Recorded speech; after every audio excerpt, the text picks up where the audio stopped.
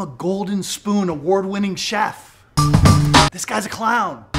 What are we doing here? That clown, as you call him, has 33 million TikTok followers. My viral recipe for mac and cheese is like straight up fire. I get it. He's unconventional. Wait a second. What is that? We need this collaboration if we're gonna relaunch your career, okay? Do you know how to cook?